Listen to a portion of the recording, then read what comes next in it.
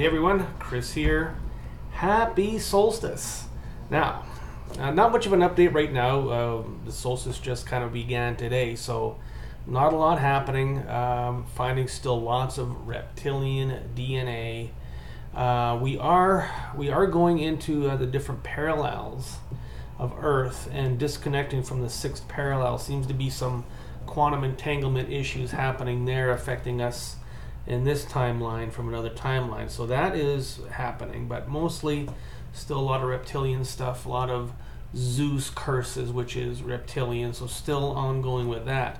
Now, uh, the reason for this video is to celebrate the solstice. We're bringing in a new product.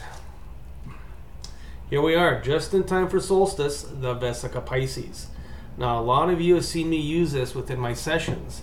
And uh, the Vesica Pisces, very uh, special in uh, working within the divine feminine uh, of, of, humanity, which is very important. It's not so much to do with being feminine.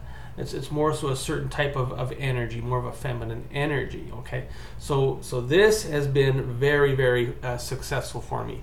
Uh, I use it in conjunction now with with the chestahedron, and this is going to be coming out soon also. But the, the Vesica Pisces is still one of the mainstays. We've been using this a lot, getting tons of great results with it. Now, if you look at it, lots of different geometry involved with it. The, the different ways you look at it, you can see different geometries.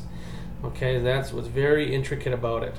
So this is on the website as we speak. Um, check it out. I've got a whole pile of them sitting here.